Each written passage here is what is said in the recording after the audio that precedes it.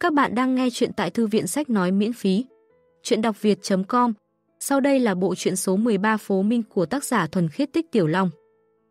Tập 79 Chương 781 tang lễ của Lão Sam 1 Đây là một lần tuyên đọc thần chỉ được chú định sẽ đi vào lịch sử. Trước hết thông báo tin tức mới nhất đến từ tình hình cuộc chiến, thông báo cho tất cả các thế lực trên thế gian đang chú ý đến cuộc chiến này, Luân Hồi đã bị trật tự đánh gục. Sau khi kết thúc thông báo lâm thời, lại dựa theo quá trình tuyên bố thông thường, nghiêm túc và tỉ mỉ tuyên đọc thần chỉ tuyên chiến vốn sẽ được công bố vào 12 giờ trưa hôm nay. Đây là một sự sai sót trong quá trình, nếu nhìn vào tính logic, nếu luân hồi thần giáo đã đầu hàng, vậy tiếp theo cũng không cần phải ban bố thần chỉ tuyên chiến, bởi vì chiến tranh đã kết thúc. Dưới điều kiện quan trọng nhất là chiến tranh đã kết thúc, cũng không còn cần thiết phải tuyên đọc thần chỉ tuyên chiến, tất cả đều chỉ vẽ vời thêm chuyện. Nhưng chính là sự sai lầm trong quy trình đó, lại thể hiện ra sự hùng mạnh của trật tự thần giáo để cho thế nhân trông thấy rõ ràng. Mặc dù từ sau khi ánh sáng diệt vong, giữa các giáo hội chính thống đã nghìn năm chưa từng xảy rất bất cứ xung đột chính diện nào, nhưng gai đinh trên thanh roi của trật tự vẫn còn chưa gì xét. Nó vẫn như cũ là thần giáo hùng mạnh nhất, không phải một trong, mà là duy nhất. Nghĩ rằng trật tự thần giáo đã không ổn, cho rằng trật tự thần giáo đã suy yếu, cho rằng thần trật tự đã rời bỏ trật tự thần giáo. Xin hãy trợn to đôi mắt của các ngươi, nhìn cho kỹ, đến cùng ai mới là người cầm roi trong thế giới giáo hội này. Khoảng thời gian 1.000 năm, tựa như đã để cho rất nhiều người lãng quên một vài việc. Quên rằng điều lệ trật tự và sự ước thúc của nó với giáo hội của toàn thế gian rốt cuộc đã được sinh ra như thế nào. Khi hoàng đế mặc một bộ quần áo mới, chỉ có lũ trẻ con vô tri mới chế giễu hoàng đế không có mặc quần áo. Không ai sẽ trêu chọc sai lầm trong buổi họp báo này, cũng không ai sẽ cảm thấy buồn cười, vốn là thần giáo chính thống. Vậy mà Luân Hồi còn không chịu nổi sự tấn công của trật tự đến lúc phát thư khiêu chiến công khai vào trưa hôm sau. Sau khi đại tế tự Norton tuyên đọc xong thần chỉ, đứng ở nơi đó, bên trong loa treo tường cũng phát ra âm thanh của ông ta. Trước lúc kết thúc buổi họp báo, trước khi âm thanh và hình chiếu biến mất hẳn, ông ta phát ra tiếng cười, ha ha. Nụ cười này là đại diện cho trật tự, thể hiện sự trào phúng và khinh thường với thế gian. Dù là Karen vẫn luôn dùng góc nhìn của người đứng xem, sau khi nghe được tiếng cười này, trong lòng cũng không khỏi cảm thấy kích động. Không ai sẽ từ chối gia nhập vào một tập thể hùng mạnh cả, tất cả mọi người sẽ vì bản thân ở. Trong một tập thể hùng mạnh mà cảm thấy tự hào, huống chi, tính cách của cái tập thể này vốn dĩ cũng rất ngang ngược. Karen nhớ lại Dis từng tự nhủ qua một đoạn, dưới sự soi dọi của trật tự, tất cả đều đối xử như nhau. Ý là, bất kể là ai, đều không có để tư cách để trật tự thần giáo chúng ta nhìn với một con mắt khác. Từ đầu đến cuối, ông nội cũng chỉ chống đối lại thần trật tự, nhưng ông nội chưa từng chống đối lại trật tự thần giáo. Trong trận giao chiến kia ở phố Min, bất quá ông nội cũng chỉ cho nổ trật tự thần điện, nhưng không có giết chết bất cứ một tên thần quan nào.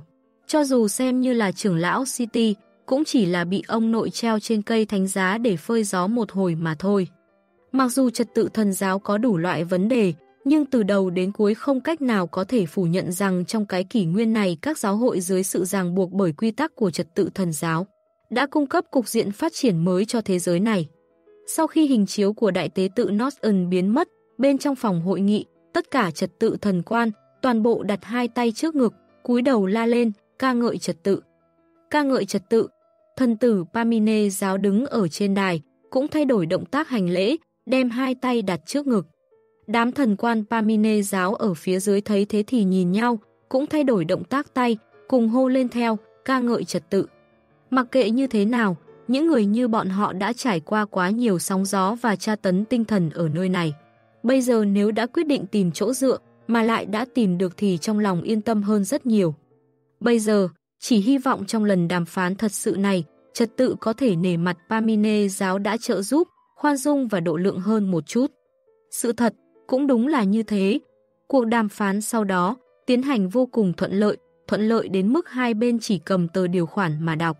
Mỗi một điều đọc một lần, Karen thậm chí cảm thấy điều ước trong tay của hai bên mỗi một chữ đều giống nhau, trật tự cho Pamine thấy ý chí của nó.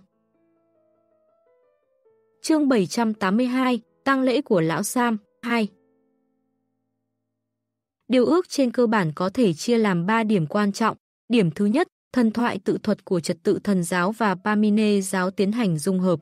Bất quá sau khi dung hợp, thần Pamine không phải là thuộc hạ của thần trật tự, mà là bạn của thần trật tự, đi theo thần trật tự. Đãi ngộ này tốt hơn rất nhiều so với phiên bản thần chi nhánh ban đầu, ít nhất trên cấp bậc của hai vị thần thì, thần Pamine là bình đẳng với thần trật tự. Karen ngồi ở dưới lắng nghe tiến trình đàm phán, một lần nữa cảm nhận về chân lý của câu nói lịch sử là cô bé mặc cho người ta thay đổi trang phục. Thứ gọi là cơ cấu lại thần thoại tự thuật, giống như một sự xuyên tạc lịch sử. Ở trong kỷ nguyên trước, hai vị chân thần vốn dĩ chả gặp nhau bao giờ, có lẽ trong thần thoại tự thuật của hai giáo hội sau một kỷ nguyên sẽ biến thành hai người bạn tốt không có gì giấu giếm nhau. Bất quá loại cảm giác này cũng không để cho người ta cảm thấy hoang đường, bởi vì dưới hệ thống tín ngưỡng của thần giáo, thần mà mình tín ngưỡng là tối cao vô thượng. Cho nên, nếu như không xử lý tốt quan hệ giữa các vị thần, thì cũng không thể nào xử lý được quan hệ giữa người trong giáo hội. Cũng ví như nếu vị tà thần nào bỗng nhiên trỗi dậy, cuối cùng trở nên lớn mạnh dưới sự chèn ép của các thế lực khác, như vậy, thần giáo từng phán định vị thần ấy là tà thần. Cần phải tự sửa chữa lại thần thoại tự thuật của giáo hội mình, từ vị tà thần bị thần của giáo hội mình phán định, sửa chữa thành cả hai bên có chút mâu thuẫn nên chỉ đùa một chút mà thôi. Tóm lại, muốn làm việc, nhất định phải trước giải quyết vấn đề trên phương diện hình thái và ý thức. Nếu như vấn đề này không giải quyết, sẽ chỉ làm phía sau càng thêm rối loạn, sớm muộn cũng sẽ xuất hiện thêm vấn đề. Điểm quan trọng của điều ước thứ hai, trật tự thần giáo tôn trọng tất cả tính tự chủ của Pamine giáo, bao gồm ngoại giao, kinh tế, truyền giáo. Các phương diện khác, không chỉ có như thế, trật tự thần giáo sẽ còn tăng cường tại hợp tác trên những phương diện này với Pamine giáo. Nếu như nói điểm quan trọng đầu tiên là nể mặt, vậy điểm quan trọng của điều thứ hai là để làm nền. Karen rõ ràng, mình thu mua phiếu không gian bảo thạch với giá thấp vào ngày hôm qua, sau khi cuộc hội đàm này kết thúc, lập tức sẽ tăng vọt mấy lần. Tăng tới giá trị vốn có trên thị trường cũng khó mà nói, lần mua bán sang tay này của mình chắc cũng kiếm lời vài chục nghìn phiếu trật tự. Bất quá, của mình chỉ là trò trẻ con, đội trưởng mới là vốn lớn, sáng nay chắc chắn phiếu luân hồi sẽ rớt giá bởi vì chiến tranh. Sau khi đầu hàng, lại căn cứ theo tình hình đàm phán mà sẽ còn tiếp tục rớt giá trong một khoảng thời gian. Cũng không biết được tiền tích lũy của đội trưởng trong tấm thẻ thứ hai rốt cuộc là có bao nhiêu. Điểm quan trọng thứ ba, trật tự thần giáo và Pamine giáo liên minh, giữa hai bên, vô bất kể ai bị tuyên chuyến hoặc tuyên chiến với ai, đều sẽ cùng nhau hành động nhất trí. Đây coi như là trật tự thần giáo bảo vệ Pamine giáo dưới cánh chim của mình. Đối với một giáo hội tầm trung mà nói thì loại đãi ngộ này, quả thực là nằm mơ đều sẽ cười tỉnh. Trong không khí mà nhân viên thần quan của hai đoàn, đàm đều đứng dậy mà vỗ tay nhiệt liệt, đàm phán thuận lợi kết thúc. Ba người Karen hộ tống Darius trở về phòng, sau khi sắp xếp xong cơm trưa, Karen cũng trở về đến phòng của mình, bước vào gian phòng, đã nhìn thấy Paya và Fanny đang thu dọn quần áo. Sao rồi? Karen hỏi, chúng ta sắp phải trả phòng rồi à? Fanny cười nói, chúng ta phải rời phòng, để lại cho tiểu đội tiếp theo. Có ý gì? Karen nghi ngờ mà hỏi. Có nghĩa rằng, nhiệm vụ bảo vệ mục tiêu đàm phán lần này của chúng ta cũng đã hoàn thành. Mà vị thần tử kia xin phép trở về muộn hơn, xem bộ dáng là phải ngồi lại để ký kết một vài chi tiết của điều ước đàm phán. Cho nên, nhiệm vụ béo bở nhất, chúng ta đã làm xong, sau đó chỉ đợi thần giáo phát phần thưởng cho nhiệm vụ lần này. Sau đó là nhiệm vụ bảo vệ yếu nhân bình thường, cấp độ của nhiệm vụ sẽ bị hạ xuống rất nhiều, ban thưởng cũng sẽ hạ xuống rất thấp, mà việc cần làm cũng sẽ không ít. Rốt cuộc thần tử có thể rời tử điếm để tham qua các nơi gì đó, rất mệt mỏi và hành hạ người khác. Đội trưởng đã từ chối nhận nhiệm vụ sau này, chuyển nhiệm vụ này sang cho tiểu đội của Jenny. Thịt đã ăn, sau đó để xương cốt lại cho người khác gặm, Karen biết cái tiểu đội Jenny này rất nhanh thì trở thành đội 2 của tiểu đội mình. Vậy chúng ta bây giờ đã có thể giải tán rồi sao? Karen hỏi. Đúng vậy, giải tán, bất quá dựa theo truyền thống, phải liên hoan, chúng ta tập hợp ở ngoài khách sạn, ăn một bữa ngon. Dựa theo truyền thống của tiểu đội, mỗi lần sau khi nhiệm vụ kết thúc, tất cả mọi người sẽ tụ tập ăn uống. Tôi đi nói lời tạm biệt với ngài thần tử đây. Đi thôi đi thôi. Fanny khoát khoát tay, Vali hành lý của cậu và hộp đựng kiếm tôi mang đi trước dùng nhé. Được rồi. Cái hộp kiếm này của cậu lớn đến như vậy, mỗi lần đều phải mang đến mang đi cũng quá phiền phức. Khẩu súng trường của cô không phải cũng rất dài hay sao? Khẩu súng trường của tôi có thể tháo ra từng mảnh, còn kiếm của cậu có thể tách ra từng khúc sao? Về sau cũng không cần phải phiền phức như vậy. Lần này thu nhập cũng rất dồi dào, có thể trải nghiệm một lần cảm giác dùng 3.000 phiếu trật tự để triệu hồi thanh kiếm lưu tư. Các bạn đang nghe chuyện số 13 Phố Minh của tác giả Thuần Khiết Tích Tiểu Long tại Thư viện Sách Nói miễn phí, chuyện đọc việt.com Chương 783, Tăng lễ của Lão Sam, A Karen đi đến trước cửa phòng Darius, gõ cửa bước vào, Darius đang ngồi ở chỗ đó mà chậm chậm dùng cơm trưa. Thưa ngài thần tự, nhiệm vụ bảo vệ của chúng tôi đã kết thúc, tiếp theo sẽ có một đội khác phụ trách vấn đề an toàn của ngài, tôi đến để nói lời tạm biệt.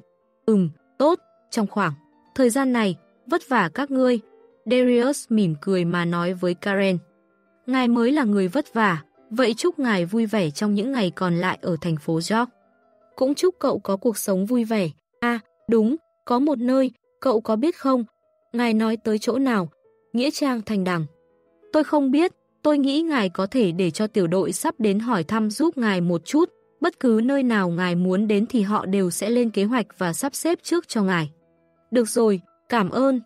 Không cần khách khí. Karen đi ra khỏi phòng, cửa phòng đối diện mở rộng, Fanny và Paya đã lấy hành lý đi xuống lầu. Đi ra đến thang máy, cửa thang máy mở ra, Richard đang đứng ở bên trong mà uốn éo người, nhảy lên điệu tango. Nhiệm vụ kết thúc, nhiệm vụ đầu tiên trong cuộc đời của tôi đã kết thúc, thật sự là rất hạnh phúc. Tiếp theo là đi liên hoan. Karen nói, Ừm, tôi đã biết, Fanny có nói, dựa theo truyền thống, nên do người mới đi mời khách, tôi chuẩn bị mời mọi người ăn một bữa ngon ở trong phòng ăn của khách sạn này. Tất cả chi phí tiêu dùng trong khách sạn Ankara đều phải trả bằng phiếu điểm. Karen cảm thấy đưa em họ ngốc này của mình đã bị Fanny lừa rồi, mình cũng không có biết đến cái truyền thống người mới gia nhập phải mời khách này, không phải đều do đội trưởng mời khách sao. Nhưng đội trưởng mời khách hình như cũng chỉ là mấy món đồ nướng vỉa hè đơn giản mà thôi. Nhưng nhìn xem bộ dáng hưng phấn và kích động đến vậy của Richard, Karen cũng không muốn nói sự thật cho cậu ta, có lẽ chính cậu ta cũng biết mình bị làm thịt. Nhưng cậu ta cũng vui lòng dùng cách này để rút ngắn quan hệ với mọi người trong đội, dù sao thì cậu ta cũng không thiếu phiếu điểm. Đi ra khỏi thang máy, Richard dẫn Karen đi đến phòng ăn ở trong cao ốc khách sạn, dưới sự dẫn dắt của người phục vụ, đi vào trong một phòng ăn. Ngoại trừ đội trưởng bên ngoài, tất cả mọi người đều đã ở nơi này. Hai chỗ ngồi trống không ở tận cùng bên trong, Richard đẩy Karen vào trong ngồi, còn mình thì ngồi ở bên ngoài chờ đồ ăn mang lên, nhiệt tình thăm hỏi mọi người, đồ ăn mọi người đều đã chọn xong hết rồi sao? Chọn xong rồi, một chút nữa lên món cậu cũng đừng tức giận đấy. Không có việc gì, mời đồng đội ăn cơm thôi mà. Đội trưởng đâu rồi? Richard hỏi. Đội trưởng đi báo cáo nhiệm vụ, ngài ấy bảo chúng ta ăn trước, ngài ấy sẽ đến ngay thôi. Lúc này, món ăn thứ nhất được bưng lên là một mâm thịt hỏa điểu nướng lớn. Cái loại hỏa điểu là loại chim thật sự có lửa bốc cháy trên người, ừ, chỉ là khi nó còn sống, bây giờ nấu thành đồ ăn, tất nhiên cũng không bốc cháy nổi. Đĩa rất lớn, lúc Karen hỗ trợ bày mòn ra, một chút nước sốt văng lên tay áo và mù. Bàn tay, Karen đứng lên nói, ta vào nhà vệ sinh rửa một chút. Sau khi ra khỏi phòng ăn, Karen đi vào phòng vệ sinh, sau khi rửa giấy xong, không có cầm khăn giấy mà lâu khô, mà là vừa vung tay vừa quay trở lại phòng ăn. Trên đường đi vừa lúc gặp một đám người trẻ tuổi, hai người cầm đầu bị những người khác vây quanh, chính là Leon và L.A.U.R.E. Karen mỉm cười với bọn họ, Leon nhẹ gật đầu với Karen, L.A.U.R.E thì là không nhìn thẳng Karen. Quả nhiên, quan hệ bạn tù, chỉ gắn bó trước lúc ra tù. Tựa như là lúc ở bên trong nhà tắm công cộng, lúc cả hai bên đều cởi sạch quần áo mà trần chuồng thì nhìn như có vẻ là bình đẳng. Nhưng chờ đến sau khi mặc xong quần áo vào, cảm giác giới hạn lập tức xuất hiện. Thế nào, cảm thấy mất mát rồi à? Âm thanh của đội trưởng xuất hiện bên cạnh Karen. Không cảm thấy mất mát gì cả, vốn chính là người của hai thế giới. Ừm, hoàn toàn chính xác, vốn chính là hai thế giới. Karen và Neo đến phòng ăn, trên bàn đã bày đầy thức ăn, mọi người đang hưng phấn mà càn quét. Sau khi buổi liên hoan kết thúc, đã sắp 5 giờ chiều, những đội viên khác đều lần lượt rời đi. Richard trước khi trở về còn cố ý đi đến trước mặt Karen. Karen, thứ bảy, tới nhà của tôi ăn cơm, bà nội của tôi tự mình xuống bếp nấu đấy. Cũng chính là ba ngày sau. Được rồi, tôi đã biết.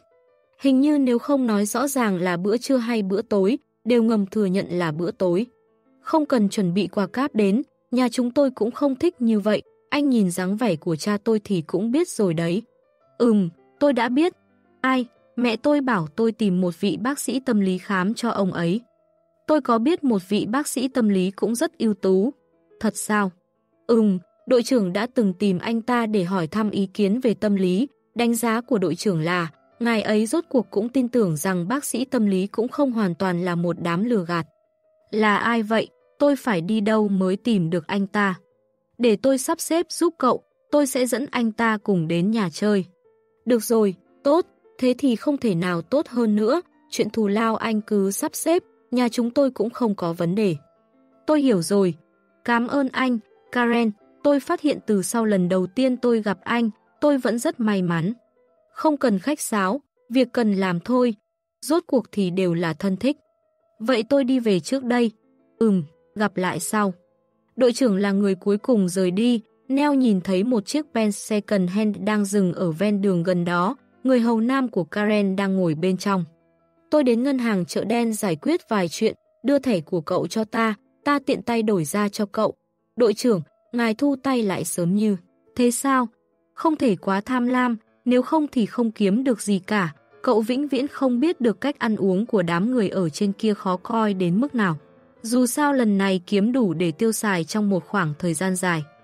Karen đưa tấm thẻ ngân hàng không ký tên làm ở chợ đen cho Neo, chờ đến sau khi Neo lái xe rời đi, Alfred lái xe tới, xách hành lý và hộp kiếm của Karen để vào cốp xe. Thiếu ra, chúng ta về nhà ngay sao? Không, đến Nghĩa Trang Thanh Đằng, anh cố gắng chạy chậm một chút, tôi tranh thủ chợp mắt một hồi. Được rồi, thiếu ra. Alfred mở ra radio, phát một bản ballad đồng quê. Chương 784, Tăng lễ của Lão Sam, 4 Chờ đến lúc xe chạy đến Nghĩa Trang Thanh Đằng thì sắc trời cũng đã bắt đầu tối. Lão Saman đang chuẩn bị đóng cửa, trông thấy một chiếc xe quen thuộc chạy đến, lại đẩy cánh cổng lớn bằng sắt ra. Karen xuống xe, duỗi lưng một cái, vừa mới trên xe anh ta đã ngủ một hồi, cảm giác thiếu thốn từ ngày hôm qua cuối cùng cũng xem như giảm được phần nào. Nhiệm vụ kết thúc rồi à? Lão Saman hỏi. Ừm, đã kết thúc. Karen nhìn xem lão Saman, cười nói, Pamine giáo ký kết hiệp ước với trật tự thần giáo, không có bị chiếm đoạt, Pamine giáo vẫn như cũ là Pamine giáo. Ha ha, trên mặt lão Saman lộ ra nụ cười, nói như vậy thì tăng lễ của ta không tổ chức được nữa à? Đúng vậy, đáng tiếc, ông cũng không có lý do để tổ chức tang lễ. Hắn, lão Saman chỉ về hướng An Phét, giữa chưa có tới một lần, nói với ta một vài chuyện, lần này là hai cái giáo hội cùng nhau hợp tác đúng không? Đúng vậy, kẻ xui xẻo là luân hồi, cũng không tính là xui xẻo, có chút oán hận chất chứa, đừng nói một ngàn năm, cho dù là một kỷ nguyên cũng sẽ không tiêu tán. Tóm lại đơn giản là nên tới cũng sẽ tới thôi, nhưng lần này việc khiến ta cảm thấy tò mò đó là trật tự thần giáo vậy mà đối xử với Pamine giáo tốt như vậy. Rốt cuộc vừa mới đánh ngã luân hồi, dù sao cũng phải lại chọn một mục tiêu để diễn tả ra hình tượng lương thiện của mình.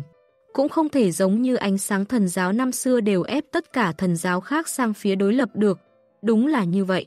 Lão Saman gãi đầu một cái, nhưng vấn đề là, nếu tang lễ đã không tổ chức được nữa, vậy thì tủ lạnh của ta. Ngài không phải đã có tủ lạnh mới rồi sao? Nhưng ta là người nhớ tình bạn cũ, sai cái đồ mới này, không hợp với tính cách của ta người Win cũng không có tập tục lấy lại quà đã tặng người khác. Đó là tiền phí mai táng của ta, nếu tang lễ không tổ chức được, chắc chắn phải trả lại cho ta. À, vậy cũng không thành vấn đề, bởi vì lúc đầu tôi cũng không có ý định thu phí mai táng của ông, cho nên cũng không có cái gì để trả lại cho ông. Lão Sama nhìn Karen, bị chọc tức đến nỗi cười phá lên, nói, cái thằng nhóc này. Được rồi, nhìn xem trong tủ lạnh của ông còn thừa lại nguyên liệu gì dùng được, đêm nay tôi nấu cho ông một bữa cơm cuối cùng. Lần sau muốn ăn, thì đến nhà tăng lễ ăn cùng. Được rồi, để ta đi xem một chút. À, đúng, sách hướng dẫn sử dụng của cái tủ lạnh kia hình như ta quên đưa cho cậu. Một cái tủ lạnh cũ mà thôi, nói cứ như không ai biết cách dùng nó vậy. Nghe nói như thế, lão Saman nhìn Karen, đầy thâm ý mà gật nhẹ đầu, Karen cười đáp lại. Lúc đang chuẩn bị vào nhà nấu cơm, bên ngoài có một chiếc xe chạy vào, lập tức lần lượt từng bóng người xông vào trong nghĩa trang. Alfred lập tức đứng ở trước người Karen, mở miệng nói, thiếu ra, bốn người ngồi trên xe, bốn người ở bên ngoài, sáu người đã tiến vào trong. Karen đưa tay đặt trên bả vai Alfred, ra hiệu cho anh ta lui ra, bởi vì Karen đã thấy rõ người đến là ai. Người đầu tiên xuống xe là Jendi, sau đó là thần tử Darius của Pamine giáo. Darius đi đến dưới bậc thang, nhìn lão Saman đang đứng ở trên, dùng nghi lễ của Pamine giáo mà ân cần thăm hỏi. Tôi vẫn luôn được nghe chuyện kể về ngài Sam, lần này, rốt cục nhìn thấy người thật của ngài. Xin cho phép tôi bày tỏ lòng tôn kính với ngài, ca ngợi Pamine. Người Vẻ mặt của lão Saman vô cùng nghi ngờ mà nhìn chầm chầm vào người đang hành lễ trước mặt mình. Tôi là thần tử đương thời của Pamine giáo, Darius, lần này tới là hy vọng mời ngài trở về trong giáo để chủ trì công việc phát minh thánh khí không gian mới. Lão Saman bước từng bước xuống dưới bậc thang, Jendi đi đến trước, muốn ngăn cản lại, sau đó bị Darius mỉm cười rồi đẩy ra. Lão Saman đứng ở trước mặt Darius, nhìn chăm chăm từ trên xuống dưới, cuối cùng, ông ta cười, ngươi là thần tử đương thời của Pamine giáo chúng ta sao? Đúng thế, Jendi nói tiếp, là thần tử của ngươi. Đúng vậy, Darius đáp lại nói. Lão Saman lại nghiêng mặt, hỏi, vậy ngươi có biết hay không, dáng vẻ của ngươi rất giống với một người. Lúc này trên mặt của Darius lộ ra vẻ khiếp sợ. Trên mặt lão Saman lộ ra vẻ cười nhưng không giống như đang cười, nói, xem ra, ta không nhìn lầm nhỉ, ngươi là con trai của tên đó.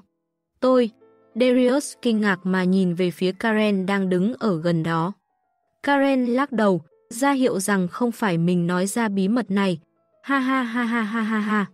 Lão Saman chảy nước mắt mà cười ha hả, con trai của tên đó, thế mà làm thần tử của Pamine giáo ta. Ngài Sam, có lẽ đã có một chút hiểu lầm. Ánh mắt của lão Saman hung ác mà chừng một cái, trực tiếp nhổ một ngụm nước bọt lên mặt của Darius. Phi, Jendi lập tức tiến lên phía trước, nhưng sau, một khắc, trước người của lão Saman xuất hiện một bức tường chắn màu xanh lam, đội trưởng Jendi trực tiếp bị văng ra ngoài. Lão Saman ôm đầu, không dám tin mà lẩm bẩm nói, ta cứ nghĩ rằng là ta sắp phải chết, nhưng thật ra ta vậy mà đã chết từ sớm rồi. Các bạn đang nghe chuyện số 13 Phố Minh của tác giả Thuần Khiết Tích Tiểu Long tại Thư viện Sách Nói miễn phí, chuyện đọc việt.com Chương 785, tất cả đều có khả năng, 1 Karen biết trong khoảng thời gian này lão Saman đều đang thương lượng về chi tiết tang lễ với Alfred, đối với tang lễ của mình thì ông lão cũng rất coi trọng. Mặc dù cơ bản thì cũng không có bạn bè người thân gì đến cúng điếu, nhưng ông đang dự định tự tham gia tang lễ của chính mình. Alfred nói cho Karen biết rằng, trong lúc tang lễ được cử hành, lão Saman nằm trong quan tài để mọi người thăm viếng cũng sẽ chưa chết. Ông ta sẽ còn sống mà nằm ở đó để mọi người thăm viếng, hoàn toàn là mở mắt để tự chiêm ngưỡng tang lễ của mình. Đợi đến lúc sắp chôn cất, ông ta còn muốn đứng trước bia mộ của mình để khắc vài câu điếu, sau đó lại nằm vào trong quan tài để kết thúc bản thân mình. Karen từng khuyên lão Saman đừng đi chết, lão Saman mặc dù cũng rất động lòng, nhưng vẫn như cũ lựa chọn từ chối. Bởi vì đứng ở góc độ của lão Saman, ông ấy không thể nào chấp nhận được Pamine giáo mà mình thờ phụng, bị giáo học khác dung hợp. Theo cách nói của ông ta đó là, dù ông ta không có năng lực để ngăn cản thời gian trôi qua, nhưng ít nhất có thể để cho con lắc đồng hồ của mình mãi dừng lại. Đây là ông ta đang chết vì đạo, đối với thần Pamine và tín ngưỡng của mình. Vốn dĩ, Karen cảm thấy cái điều ước đảm bảo tự lập của Pamine giáo này có thể để cho lão Saman không đi tìm cái chết nữa, tiếp tục dưỡng lão ở trong cái nghĩa trang yêu quý của ông ấy. Cho nên, Karen cũng không thông báo cho lão Saman những việc liên quan tới thân phận của thần tử Pamine giáo. Nhưng Darius lại tự mình đến, là thần tử của Pamine giáo. Việc anh ta biết trong nghĩa trang ở khu vực thành phố York này có một vị tiền bối ở trong giáo thì cũng rất bình thường. Lão Saman là đang ẩn cư và tị nạn, nhưng rốt cuộc thì ông ta cũng không giống như mình tìm ra tộc Vos làm một tấm mặt nạ để đeo lên mặt. Nếu không lúc trước đội trưởng cũng sẽ không thường xuyên đến Nghĩa Trang để trông nom ông ấy. Darius tự nhiên cũng không có khả năng tự nói ra thân phận của mình, thân phận của anh ta chỉ có thể là bí mật một số người biết đến mà không thể truyền ra ngoài. Thế nhưng là, lão Saman vậy mà nhận biết cha của Darius, cũng chính là chủ giáo bơn, nhưng chủ giáo khác ở đại khu thành phố.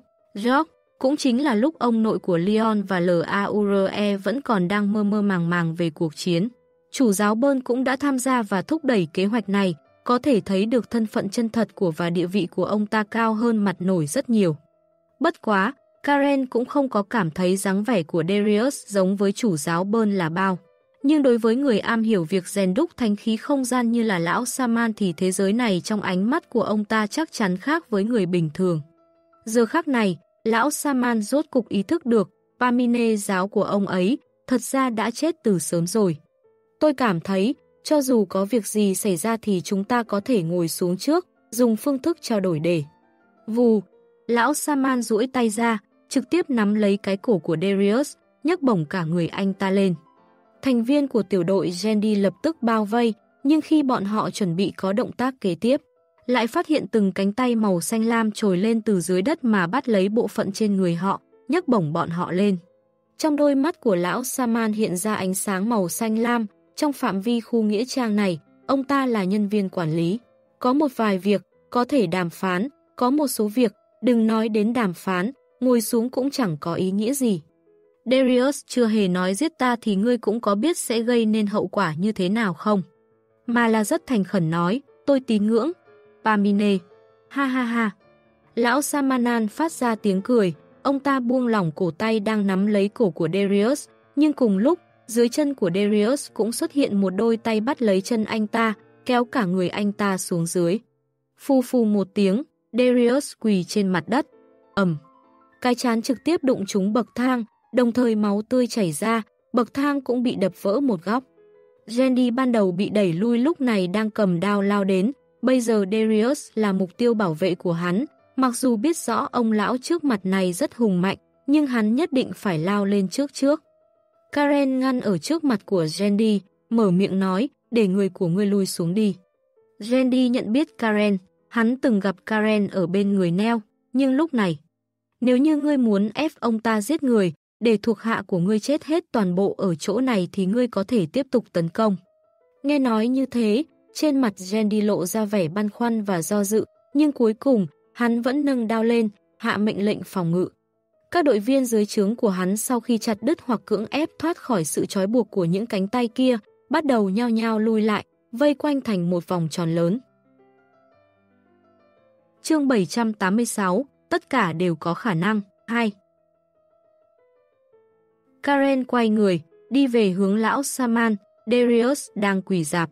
Dưới đất trước mặt của ông ấy, trên trán vẫn còn đang chảy máu, nhưng cơ thể vẫn còn lay động nhẹ, người vẫn còn sống, còn chưa chết, để bọn họ đi thôi, Karen nói. Lão Saman nghiêng đầu sang chỗ khác, nhìn xem Karen, sắc mặt của ông ấy rất âm trầm không còn là ông lão đáng yêu tranh giành mì ống với mình lúc trước, cậu đã sớm biết, đúng hay không? Karen có thể lựa chọn phủ nhận, bởi vì anh ta chỉ là một nhân viên bảo vệ bình thường, không biết việc này cũng rất bình thường. Nhưng nếu sự việc đã vỡ lở ra, anh cũng lại lười mà tiếp tục nói dối, đúng vậy, tôi đã sớm biết, vừa rồi là tôi cố ý không nói cho ông. Lão Saman bước một bước lại gần Karen, Alfred đã xuất hiện ở phía sau ông ấy. Nếu như không phải Karen làm ra động tác tay để Alfred không nên có hành động nóng vội thì có lẽ Alfred đã ra tay với lão Saman rồi. Mặc dù Alfred cũng biết rõ, lão Saman căn bản cũng sẽ không giết người, nhưng lỡ như ông ấy nổi giận mà cho thiếu gia hưởng đại ngộ quỳ gối dập đầu xuống đất như vị thần tử kia thì sao? Ta không cần cậu phải thương hại, ta cũng không cần câu cảm thấy ta đáng thương, những hành vi này của cậu trong mắt của ta hoàn toàn là những việc dư thừa khiến ta cảm thấy buồn nôn. Lão Saman gần như đang gầm vào mặt Karen, Karen có thể cảm nhận được nước bọt của ông lão đang văng tung tóe trên mặt của mình. Karen nhắm mắt lại, hít sâu một hơi, sau đó mở mắt ra nhìn xem lão Saman, cũng lên giọng, vậy ông muốn tôi nói cái gì cho ông nghe, bảo rằng ông đừng tin vào những tin tức tốt đang lưu truyền bên ngoài. Những điều ước có vẻ như giữ lại tính tự chủ của Pamine giáo thật ra chỉ là làm ra vẻ bên ngoài sạch sẽ tươm tất nhưng thực chất bên trong sớm đã bị hư thối rỗng tuếch. Nói cho ông rằng đừng suy nghĩ tốt đẹp, đừng ôm mộng ảo tưởng, tranh thủ thời gian tự sát rồi bò vào trong quan tài sớm đi để tôi chuẩn bị xong tăng lễ cho ông à. Tôi biết ông đang cảm thấy kích động, nhưng ông có thể chút giận lên tên kia, đừng có mà chút giận lên người tôi. À, cùng lắm thì ông đi chết ngay bây giờ đi, nhưng ông có tin hay không rằng nếu ông thật sự khiến tôi tức giận, chờ đến khi ông chết, tôi sẽ sắp xếp cho ông một buổi tang lễ mang chủ đề của trật tự thần giáo đấy. Bị Karen giống ngược lại như thế, cổ lão Saman rụt lại, khi thế trực tiếp tụt xuống. Người lớn tuổi, thật ra đều như vậy, tính tình bướng bỉnh nói đến là đến, nhưng đi cũng rất nhanh, quan trọng nhất chính là Lão Saman thật sự tin rằng tên thanh niên đứng trước mặt mình làm được những gì mà cậu ta vừa nói. Ta cũng không phải là đang trách cậu. Lão Samanan hạ âm thanh xuống, ai, cũng không nên, trách ngươi. Lão Saman ngẩng đầu lên, trong miệng chẹp một tiếng, đi đến trước người của Darius, đạp một cái vào người anh ta. Ẩm. Darius bị đạp bay ra ngoài, ngã nhào xuống trên mặt đất, lập tức mấy tên đội viên đội bảo vệ súm lại giúp anh ta xử lý vết thương. Lão Saman còng lưng, yên lặng mà đi vào căn phòng nhỏ của mình. Karen thì nhận lấy khăn tay mà Alfred đưa qua, lau mặt. Jenny đi tới, vẻ mặt rất là khó coi, đối tượng cần bảo vệ này vừa bàn giao vào tay hắn ta thì bây giờ đã biến thành bộ dáng này. Lần này không chỉ không có phần thưởng nhiệm vụ, xem ra còn phải bị phía trên trách phạt. Karen đương nhiên biết suy nghĩ trong lòng của Jenny, an ủi, dẫn ngài thần tử và người của ngươi về khách sạn đi, xử lý vết thương của ngài thần tử cho trông tự nhiên một chút. Thần tử sẽ không bởi vì việc này mà báo cáo các ngươi lên trên đâu, anh ta hẳn sẽ còn giúp các ngươi che giấu nữa, không có chuyện gì cả. Nhưng vết thương trên trán kia, coi như dùng thuật pháp thì cũng khó mà khỏi hẳn trong thời gian ngắn, kế tiếp còn hoạt động cần thần tử ra mặt. Anh ta sẽ nói rằng là mình sơ ý ngã trong lúc đi đường, chính anh ta cũng chủ động hòa giải thì phía trên cũng lười mà đi điều tra cặn kẽ để trừng phạt các người. Cậu xác định ngài ấy sẽ làm như thế sao? Sẽ. Vậy là tốt rồi, vậy là tốt rồi. À, cậu quen biết với vị kia sao? Ừm, ta và đội trưởng thường xuyên đến nơi này để ăn bữa khuya. Thì ra là như thế này. Chuyện liên quan đến Neo, Jenny luôn luôn rất dễ nói chuyện, bởi vì vị đội trưởng này xem như là fan hâm mộ của Neo. Vậy thì tôi đi trước, một mình cậu ở đây cũng không có vấn đề gì chứ. Ta không cần ngươi lo lắng. Ừm, được rồi. Jenny ra lệnh cho thuộc hạ của mình dẫn thần tử về, nhưng Darius đã bị thương lại đẩy đám người kia ra, kiên trì quay lại quỳ trên bậc thang. Mặc dù lúc này trên mặt anh ta đã tràn đầy máu tươi, nhưng trong ánh mắt của anh ta đều là sự thành kính. Các bạn đang nghe chuyện số 13 Phố Minh của tác giả Thuần Khiết Tích Tiểu Long tại Thư viện Sách Nói miễn phí, chuyện đọc việt.com Chương 787, tất cả đều có khả năng, A. Karen cũng không biết, nội tâm của anh ta là thật sự trung thành và kiên trinh với Pamine giáo, muốn biểu hiện thái độ của mình cho lão Saman thấy, hay vẫn là chỉ đơn giản muốn dùng phương pháp này để nhận lấy di sản của lão Saman. Thật không thể trách Karen sẽ có loại suy nghĩ này, vốn ban đầu trong nhận thức Karen biết lão Saman xem như là một người tuyệt hậu. Ai giúp ông ta xử lý tăng sự thì di sản thuộc về người đó, nhưng bây giờ Darius đến thăm, giống như trước một người không có con cái, trước khi chết lại lòi ra một người cháu họ hàng xa đến. Nhưng mình rốt cuộc cũng không phải con trùng không gian ở trong bụng của anh ta, trong nội tâm của anh ta thật sự đang nghĩ gì thì mình cũng không thể nào biết được. Bất quá, Karen vẫn là cúi người xuống, nói với Darius, thưa ngài thần tử, ngài vẫn nên về khách sạn để xử lý vết thương trước đi. Từ đầu nếu ngài không đến mà nói thì ông ấy chắc là sẽ tiếp tục ở chỗ này sinh sống và làm việc, còn nếu ngài đã tới, ông ấy thật sự phải chuẩn bị chết rồi. Darius nhìn xem Karen, hỏi, cậu đã biết ông ấy từ trước rồi sao?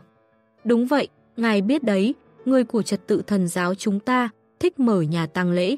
Mà nếu mở nhà tang lễ thì tất nhiên cũng quen biết với quản lý Nghĩa Trang, đây là lại chuyện không thể bình thường hơn được nữa. Xin giúp ta chuyển lời cho ông ấy, ta trung thành với Pamine giáo. Ông ấy cũng không thèm để ý những điều này, ngài đừng ép ông ấy, nếu ngài lại tiếp tục quỳ xuống, ông ấy phải ra đánh người nữa đấy, ông ấy cũng không phải chỉ cần quỳ gối dập đầu thì sẽ xong chuyện. Darius lắc đầu, nói, ta muốn thể hiện cho ông ấy thấy lòng thành kính của ta.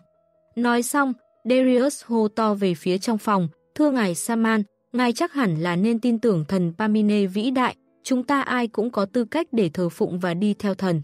Cái này không liên quan đến xuất thân, không liên quan đến huyết thống, không liên quan đến việc cha của tôi là ai. Lão Saman đã bước vào phòng lúc này lại quay trở ra, Karen tránh đường, lão Saman một lần nữa bước đến trước mặt của Darius.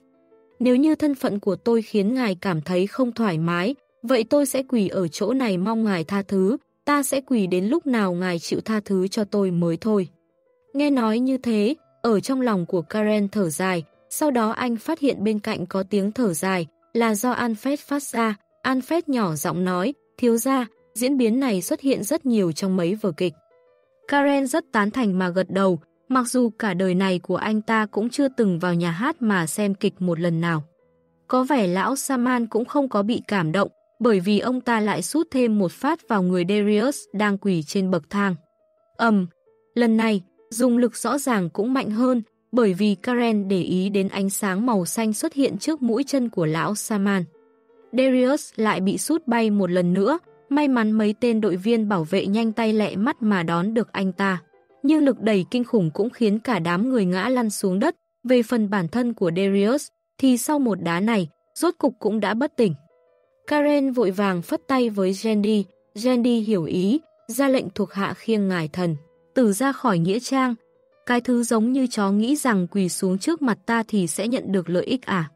Nếu như không phải bởi vì những tín đồ Pamine giáo yêu quý kia thì hôm nay ta thật sự muốn giết người rồi. Anh ta có lẽ thật sự là thành tâm đấy.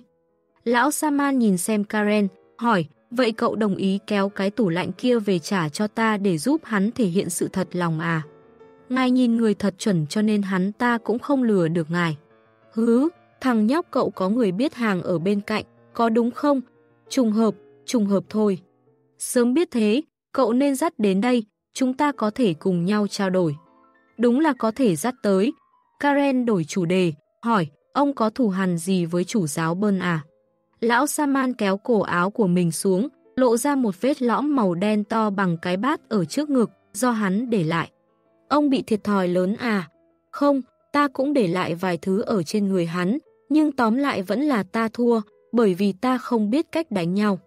Nghe nói như thế, lại liên tưởng lúc nãy lão Saman vừa ra tay, toàn bộ tiểu đội của Jendy bao gồm cả vị thần tử kia ở bên trong đều trông như một đám gà con. Đồng thời, Karen lại cảm thấy lời này có chút quen thuộc, vị cha vợ tương lai, ngài BEDE kia cũng hình như rất thích để câu nói này trên miệng mình. Có lẽ, ông có thể mượn cơ hội này để vào không gian sứ giả thăm một chút, xem như hoàn thành một cái tâm nguyện của mình trước lúc chết cũng tốt. Karen đề nghị. Lười đi, bên trong không gian sứ giả cũng chỉ có một vị trưởng lão đang nằm phong ấn, lúc trước ta cũng không biết vì sao ngài ấy lại đau khổ như vậy. Bây giờ, ta có vẻ như đã hiểu ra, bởi vì sự tỉnh táo đôi khi cũng là một việc đau khổ. Cho nên, muốn gia nhập giáo hội vẫn nên lựa chọn giáo hội lớn, còn giáo hội nhỏ, thật sự là có quá nhiều nỗi bi ai. Ông nói lời này cũng không đúng lắm, trong mắt của mỗi giáo đồ thành kính thì giáo hội của mình vĩnh viễn là vĩ đại nhất. Lão Saman nói với Karen, ngày mai hãy giúp ta tổ chức tang lễ đi. Được rồi, Karen nhẹ gật đầu.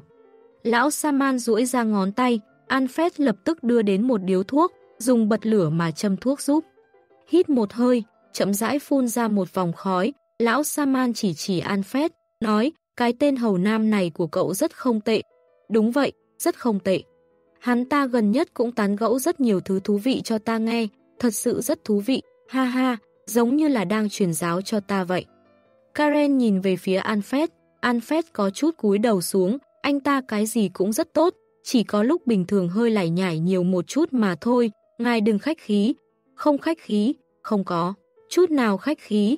Lão Saman vẩy tàn thuốc bay xuống, cảm khái nói, cả đời này của ta, bắt đầu từ Pamine, cũng sẽ kết thúc từ Pamine, ta cảm thấy rất tốt, đến nơi đến chốn.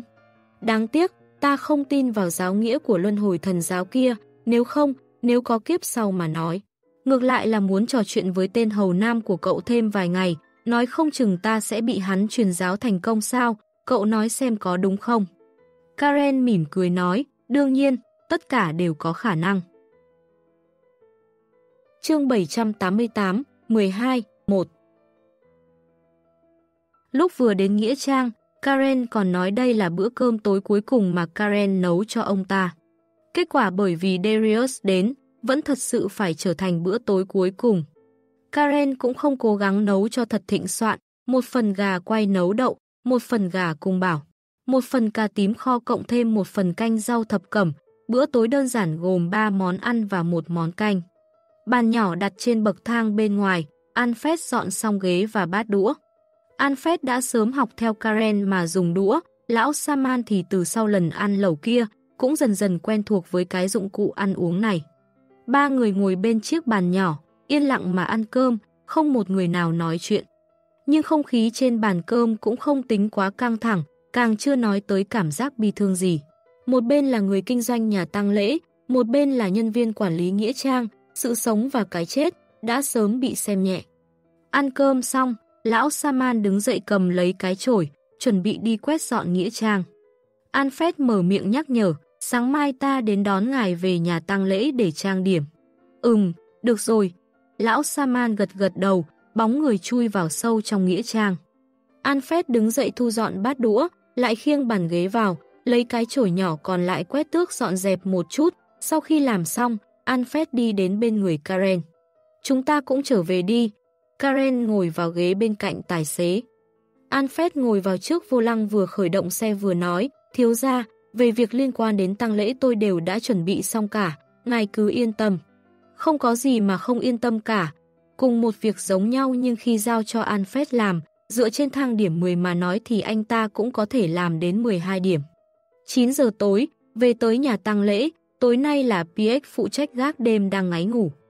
Từ khi ngài Pavaro cũng chẳng khi nào có mặt, sau khi Karen trở thành người chịu trách nhiệm thực tế của nhà tang lễ này. Trong khoảng thời gian này thì hai tên nhân viên khổ cực và mệt mỏi hơn lúc trước một ít, nhưng đãi ngộ nhận được cũng tăng lên rất nhiều, cho nên lúc cần tích cực làm việc cũng không thành vấn đề. Đúng rồi, Alfred, thiếu ra, ngài có gì dặn dò? Đến chợ đen, dùng phiếu điểm đổi một Israel, gửi về nhà, giúp trả xong tiền vay mua nhà đi. Được rồi, thiếu ra, tôi trở về phòng trước. Thiếu ra, ngài hãy nghỉ ngơi sớm một chút. Karen đẩy cửa phòng ngủ ra, trông thấy con mèo và con chó nhà mình đang vờn quanh cái tủ lạnh cũ. Việc nghiên cứu thuận lợi chứ. À, đêm nay cậu về sớm thật đấy, nói cho cậu biết một tin tức tốt, cái tủ lạnh này, nếu không tính đến vấn đề nâng cấp. Chúng ta đã hoàn toàn tìm hiểu xong, bỏ tinh thể năng lượng vào, bây giờ đã khởi động. Thật sao? Karen mở tủ lạnh ra, phát hiện cái thanh nẹp ở giữa bị phá đi, đồng thời hơi lạnh tràn tới. Bây giờ cậu có thể thử một chút. PALL nói. Go. Kevin lắc lắc cái đuôi. Karen mở ra hộp kiếm, lấy thanh kiếm Arius ra, dựng thẳng thanh kiếm lên mà để vào, sau đó đóng cửa tủ lạnh lại. BALL bò tới trên người Karen, ngồi xuống trên bả vai, tiếp theo thì triệu hồi thanh kiếm từ trong cái tủ lạnh này đến tay của cậu. Tôi và con chó ngu xuẩn đã chuẩn bị cho cậu ba phương án. Phương án thứ nhất là sử dụng thanh sáo dọc kia, bên trong sáo dọc vốn là có trận pháp, cậu chỉ cần truyền một ít năng lượng linh tính vào. Sau đó lại thổi, từ đó sẽ kích hoạt trận pháp bên trong của nó, trước mặt cậu sẽ xuất hiện một vùng ánh sáng, thanh kiếm này sẽ được dịch chuyển qua. Cho nên, trước lúc tôi muốn đánh nhau với người khác, cần phải lấy thanh sáo dọc ra rồi thổi một bài à. Có phải cảm thấy rất mất phong độ hay không? Có một chút. Sao lại chỉ có một chút được chú? Mặc dù làm như thế sẽ có hiệu quả có thể chọc cười đối thủ để cho chúng không tập trung. Nhưng lúc sử dụng thật sự quá khó coi, cho nên phương pháp thứ hai chính là dùng cái tẩu thuốc. Phương pháp sử dụng cũng như nhau, đầu tiên thì truyền năng lượng linh tính vào, sau đó lại mùi một ít thuốc lá lên, sau đó vùng sáng xuất hiện, thanh kiếm cũng sẽ đến. Karen nói, tôi cảm thấy cái này tốt hơn so với dùng sáo dọc một chút. Đúng vậy, tôi cũng cảm thấy như vậy. Nhưng trước lúc bắt đầu đánh nhau, tôi đầu tiên phải bảo đối thủ đứng chờ một chút để cho ta hút một hơi thuốc đã. BALL trêu gẹo mà nói, cậu nên nghĩ như thế này này, cậu có thể mời người ta hút thuốc cùng rồi sau đó đánh lén đối phương. Ý của cô là, tôi cầm cái tẩu thuốc nhưng mà lại đi đưa thuốc lá cho người khác à? BALL ngoẹo đầu một cái, tựa như thật sự có chút là lạ. Nói ra cái phương pháp thứ ba đi. Sáo dọc và cái tẩu thuộc đều là chốt mở mà lão Saman đưa cho mình. Cái phương pháp thứ ba chắc là do tự PALL và Kevin mày mò sáng tạo ra. Rốt cuộc, tất cả độ khó đều nằm trong cái tủ lạnh, còn về phần chốt mở trái, lại cũng không khó lắm. À, cái phương pháp thứ ba, đó chính do tôi thiết kế riêng cho cậu. Gầu. Đương nhiên, con chó ngu xuẩn cũng góp sức rất nhiều, tôi nói cho cậu biết này, tôi phát hiện con chó ngu này có vẻ rất tinh thông những thứ thuộc về phương diện này đấy. Gâu. Nghe được PALL hiếm khi khen ngợi mình, Kevin hưng phấn vung vẩy cái đuôi lên.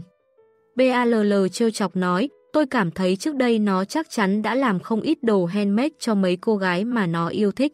Vẫn luôn làm vẫn luôn tặng nhưng vẫn luôn không theo đuổi được người ta, cho nên từ từ mà thành thạo tay nghề. Kevin nghe xong thì chỉ im lặng. Các bạn đang nghe chuyện số 13 Phố Minh của tác giả Thuần Khiết Tích Tiểu Long tại Thư viện Sách Nói miễn phí.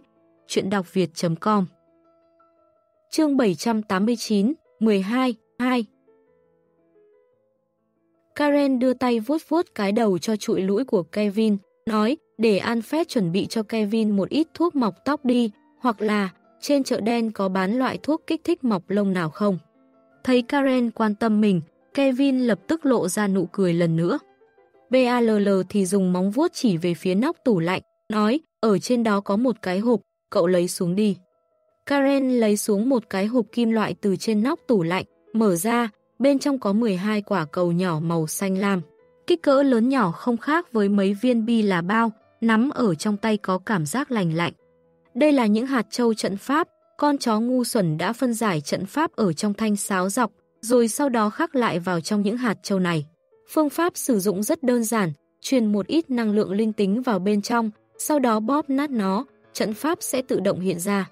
Khuyết điểm của những hạt châu này đó là khó chế tạo, thời gian tồn tại của trận pháp bên trong rất ngắn. Là hàng dùng một lần, nhưng những vấn đề này đối với cậu mà nói thì cũng không xem như là vấn đề quá lớn. Giá tiền của nó cũng không đắt, trên chợ đen có giá 50 phiếu điểm một cái, chủ yếu đắt ở chi phí chế tạo, nhưng chi phí chế tạo của chúng ta chỉ là thức ăn cho chó mà thôi. Thời gian sử dụng ngắn, dù sao cũng đủ thời gian để cậu rút thanh kiếm ra ngoài, để tôi thử một chút. Karen cầm lấy một hạt châu, đi ngoài phòng thử một chút đi, chi phí một lần sử dụng là 3.050 phiếu trật tự, thử trong phòng luôn cảm thấy có vẻ hơi lãng phí. Ừm, đương nhiên, cậu còn có thể thiết kế một vài động tác sử dụng. Karen cầm một hạt châu đi tới trong sân, VALL nhảy từ vai của anh xuống, ngồi ở trên lưng của Kevin. Đã nghĩ kỹ động tác sao? VALL hỏi. Karen nhẹ gật đầu, trước hết truyền một ít năng lượng linh tính vào trong hạt châu, cảm nhận được hạt châu sau đó từ từ tỏa nhiệt. Karen quỳ, một chân xuống, bàn tay cầm hạt châu vỗ nó xuống mặt đất, thoạt nhìn như là dùng một tay đập xuống đất. ầm Có một tiếng giòn vang truyền đến, một vùng ánh sáng màu xanh vừa mới xuất hiện dưới lòng bàn tay của Karen thì ngay sau đó chuôi kiếm của thanh Arius đã lộ ra từ bên trong. Karen thuận tay mà bắt lấy chuôi kiếm, rút toàn bộ thanh kiếm ra ngoài, đồng thời hoàn thành chuỗi động tác bằng việc đứng dậy. Ồ, không thể không nói, chọn bộ chuỗi động tác cũng rất trôi chảy, cũng rất có khí thế. BALL cho ra lời nhận xét. Go, Kevin cũng gật đầu. Karen hỏi, tôi biết khoảng cách dịch chuyển là trong khu vực của thành phố York, nhưng nếu như vị trí của tôi có trận pháp và kết giới, có thể dịch chuyển nó đến nơi đó sao? Go, Gâu, gâu, gâu. Con chó ngu xuẩn nói là không thành vấn đề, cấp bậc không gian của vật này rất cao, có thể hoàn thành việc xé rách không gian trong nháy mắt. Trừ phi là trận pháp hoặc kết giới phong tỏa không gian đặc biệt ra, nếu không cậu đều có thể dịch chuyển thanh kiếm này đến bên người. Nhưng nếu dịch chuyển nó đến, sẽ làm cho người đang duy trì trận pháp và kết giới cảm nhận được. Ừm, tôi đã biết. Karen nhìn về phía PALL và Kevin, gần đây hai người vất vả rồi nhỉ. Không vất vả lắm, chúng tôi rất thích làm việc, với lại gần đây cậu cũng kiếm được rất nhiều phiếu điểm. Tên yêu tinh radio kia trở nên rất hào phóng, tài liệu mà chúng tôi được cung cấp cũng rất nhiều, loại cảm giác này cũng không tệ chút nào. Gâu, tốt, nghỉ ngơi thôi, ngày mai có tăng lễ cần phải làm, là của lão già kia sao? Ừm. Tôi cảm thấy nếu lão già kia chết thì cũng rất đáng tiếc, con chó ngu có nói nếu cái tủ lạnh kia thật sự là do một mình ông ta tạo ra, thì có nghĩa rằng vốn hiểu biết của ông ta đối với năng lượng không gian có cấp độ rất cao. Bản thân người ta cũng không muốn sống tiếp cho nên cũng không còn cách nào. Karen trước hết vào phòng tắm tắm một cái, sau đó nằm dài trên giường, VALL bò lên trên ngực Karen, vuốt mèo co do, nhìn Karen. Có việc gì à? À, tôi có một cái thỉnh cầu nho nhỏ. Nói, cậu có thể xin nhờ tên nhóc của gia tộc vos kia chế tạo giúp cho tôi và Kevin mỗi người một cái con rối hình người không? Con rối hình người? Ừm, không cần vật liệu tốt, có thể sử dụng là được. Tôi cảm thấy khoảng chừng 5.000 phiếu trật tự là làm được rồi. Để Alfred đi nói đi. Không, tốt nhất là cậu tự mình đi, bởi vì nếu yêu tinh radio đi. 5.000 phiếu trật tự đặt cọc cũng chỉ có thể làm một con rối giá trị 5.000, nhưng nếu cậu đi mà nói thì cũng không có giới hạn. Được rồi, chờ đến khi tăng lễ của lão Saman kết thúc thì tôi sẽ đến bảo tàng gốm Lê Ma hỏi xem. Karen chỉ có thể đồng ý, anh cũng không có cách nào từ chối lời thỉnh cầu muốn làm người của mèo và chó trong nhà. Vậy cậu ngủ ngon nhé, Karen bé nhỏ thân yêu của tôi, đây, để tôi đắp chăn cho cậu. BALL bò đến bên gối Karen, dùng cái vuốt mèo của mình mà nhấc nhấc chăn mền lên tượng trưng vài cái. Bởi vì hôm qua không được nghỉ ngơi tốt, cho nên giấc ngủ này Karen ngủ rất say, lúc tỉnh lại đã là 7 giờ rưỡi sáng hôm sau. Karen rất là thoải mái mà duỗi lưng một cái, sau khi rửa mặt thì đi vào trong phòng bếp, chuẩn bị một bát mì dương xuân cho mình. Lúc làm gia vị, âm thanh của lão Saman vang lên từ sau lưng, cũng làm cho ta một bát đi, à không, hai bát. Karen quay đầu nhìn về phía lão Saman, chỉ thấy hôm nay ông ta mặc một bộ đồ vest màu xanh lam, thắt cà vạt, râu ria và tóc đều được chỉnh chu, trên mặt cũng được trang điểm. Tay nghề của phu nhân Lếch cũng không tệ. Đúng vậy, rất không tệ, vốn dĩ ta còn tưởng cô ta không quen trang điểm cho người sống, kết quả là ta quá lo lắng rồi. Đều phải nằm vào trong quan tài, như nhau thôi. Bất quá ta từ chối lời đề nghị đóng đinh vào sau gáy để kéo căng ra. Sợ đau à? Nếp nhăn của người già là món quà của năm tháng. Lời này ông hẳn nên nói với phụ nữ, bọn họ sẽ ước gì có thể tặng hết mấy món quà đó cho ông. Karen quyết định cứ nấu luôn một nồi mì, sau đó dùng một cái bát rất lớn hoặc có thể gọi là một cái thau. Múc ra để lên trên bàn ăn, mình và lão Saman một người ăn mì trong bát, một người ăn mì trong cái thau. Lúc ăn mì, Karen theo thói quen mà đặt cuốn sổ ghi chép thuật pháp bên cạnh vừa ăn vừa xem. Chương 790, 12, A Cậu đang xem gì thế? Lão Samanan hỏi. Sổ tay thuật pháp, tổng hợp lại một vài thuật pháp thích hợp để tôi học tập. Cố gắng tranh thủ thời gian như vậy sao? Không có, chỉ là theo thói quen lúc ăn cơm cần làm vài việc để làm phân tán sự chú ý mà thôi. Lúc ăn cơm cần phải tập trung, đây là sự tôn trọng dành cho đồ ăn. Lão Saman nói. Karen gật gật đầu, gấp cuốn sổ lại, nói, được rồi, hôm nay người chết là lớn nhất. Karen ăn một bát, lại húp thêm một chén canh, phần mì còn lại đều bị một mình lão Saman xử lý hết. Hương vị của mì này xem như không tệ, rất ngon, còn có thứ ớt khô này, cũng rất tuyệt. Nhưng ta muốn nhắc nhở ông, ông ăn vào trong bụng nhiều đến thế, nếu trước lúc chôn cất vào buổi tối mà không kịp thải ra ngoài, sẽ làm bẩn cái quan tài của ông đấy. Vẻ mặt của lão Saman trầm xuống, tựa như đã cảm nhận được tính nghiêm trọng của vấn đề này. Lúc này Hilly đi đến, bắt đầu thu dọn bát đũa, cười hỏi, thiếu ra, hôm, nay trong nhà có mối làm ăn rồi à? Cô đã chuyển đến đây được một khoảng thời gian, vẫn luôn chưa thấy khai trương, còn có lần nghĩ rằng thiếu gia phải ra ngoài làm đầu bếp cho nhà hàng để kiếm thêm thu nhập. Ừm, xem như lần thứ nhất khai trương sau khi sửa sang lại. Vậy thì thi thể của khách ở đâu vậy? Tôi mới đi ngang qua cửa phòng làm việc của bà Lách, trông thấy bên trong là trống không. Là ta đây. Hilly nhìn về phía lão Saman, lại nhìn về phía thiếu gia, thấy thiếu gia gật nhẹ đầu. Hilly duy trì nụ cười lễ phép, xoay người đi rửa chén. Karen đứng dậy, quay về phòng sách của mình, kết quả lão Saman cũng đi theo vào. Tăng lễ vào 2 giờ chiều mới bắt đầu, lão Saman lôi ra đến một cái ghế ngồi xuống, còn có thời gian gần nửa ngày. Ông có thể ra ngoài sân ngắm hoa lá cỏ cây, tận hưởng cho tốt khoảng thời gian cuối cùng của mình. Karen rút ra một quyển sách từ trên giá sách, ngồi vào đằng sau bàn đọc sách. Cậu định ngồi ở đây đọc sách à? Lão Samanan hỏi. Ừm, khó mà có lúc rảnh rỗi. Tủ lạnh đặt trong phòng ngủ của cậu sao? Đúng thế, ta muốn đến xem. Đi vào phòng ngủ của người khác là một việc rất không lễ phép đấy. Trong phòng ngủ của cậu cũng không có nữ chủ nhân.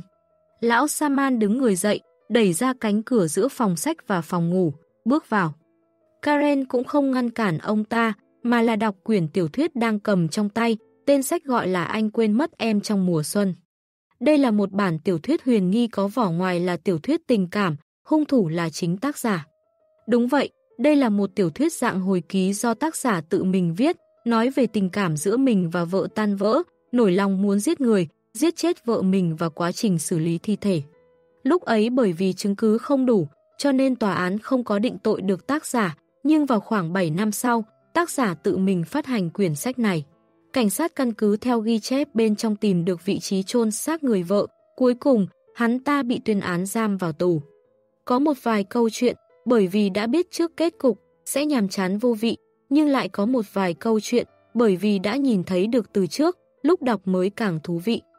Karen lật từng trang từng trang, lúc này, lão Saman bước từ trong phòng ngủ ra, lại ngồi trở lại trước mặt Karen. Vận hành rất tốt. Lão Saman nói, ta vốn cho rằng không có sự giúp đỡ của ta thì cậu không sử dụng được nó, xem ra có lẽ là ta quá lo lắng rồi. Karen để sách xuống, lại nhìn đồng hồ treo tường một chút, mới 8 giờ 30 phút. Có phải cậu đang cảm thấy ta đã phá hỏng buổi sáng đẹp trời của cậu rồi không?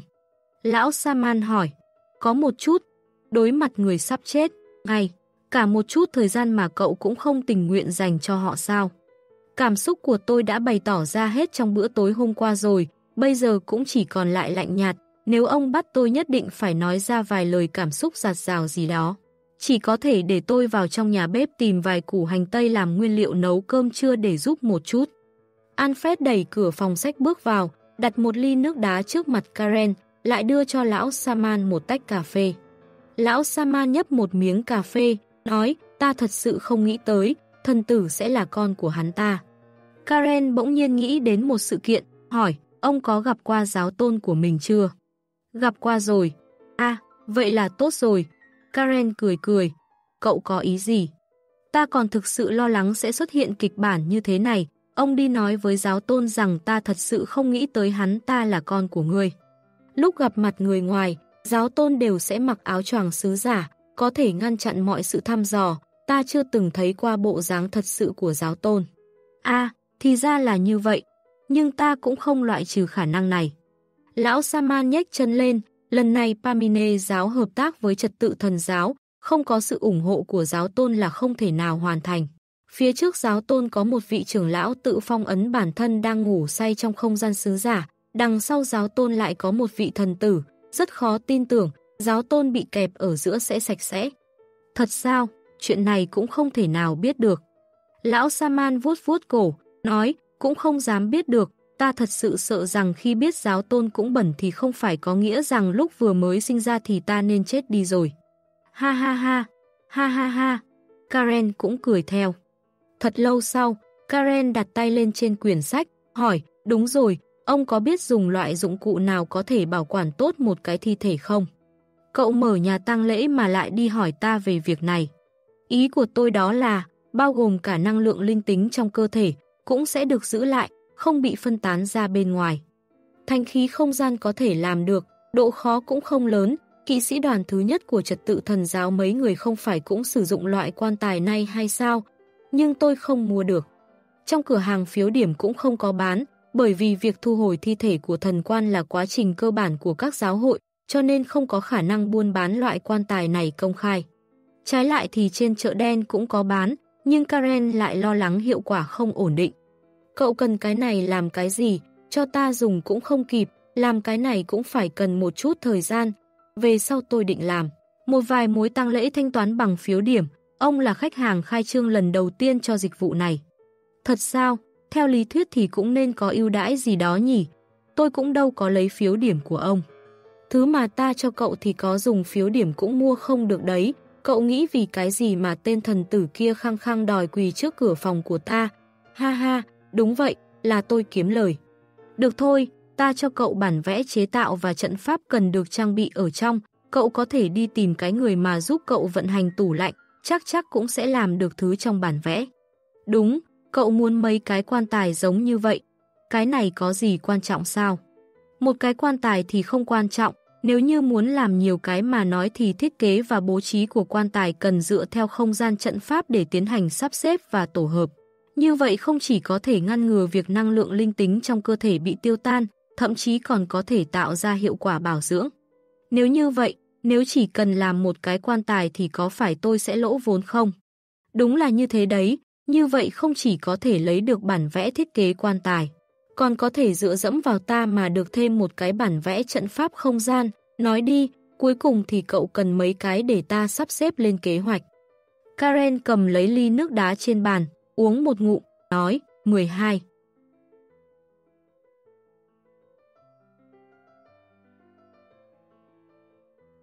Các bạn vừa nghe xong tập 79 của bộ truyện số 13 Phố Minh của tác giả Thuần Khiết Tích Tiểu Long tại Thư viện Sách Nói miễn phí, chuyện đọc việt.com.